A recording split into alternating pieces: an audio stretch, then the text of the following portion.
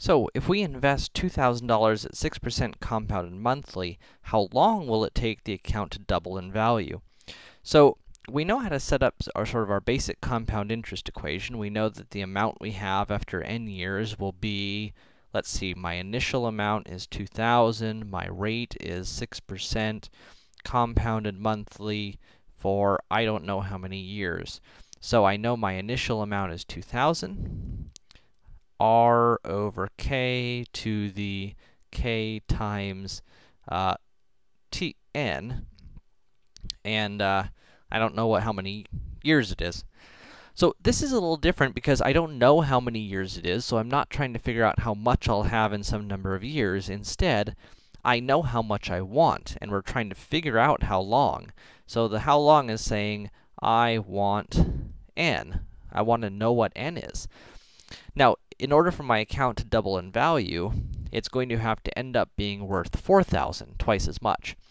And so, to answer this question, I'm going to set the, the amount that I end up with equal to 4,000.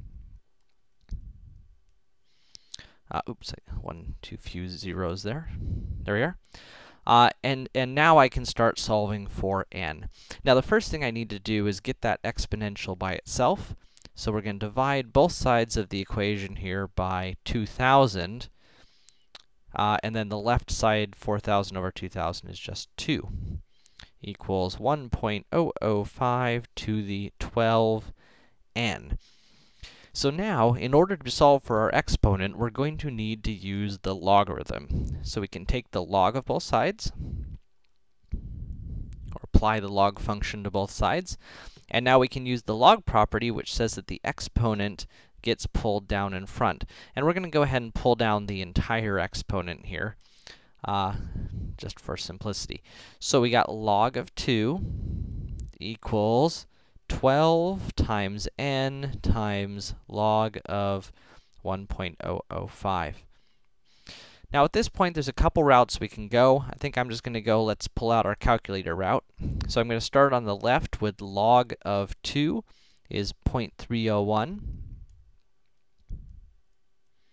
So this is 12 times n times, let's see, that's 1.005 log is 0.00217. Remember to keep three significant digits here, so 0.00217. 0.00217. Now, just for simplicity, I'm going to go ahead and multiply together my 12 and my 0.00217. Uh, and since I already have this in my calculator, I'm just going to say times 12. Uh, gives me 0.0260. 0.0260. Okay. Uh, 0.0260 times n. So that was the 12 times the 0.0217.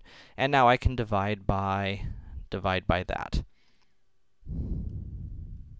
So I've got uh, 0.301 divided by 0.0260 is uh, Uh, 11.5577. Okay, so n is 11.5, what did I just say? 11.57777 years. So it's going to take a little over 11 and a half years for this account to double in value.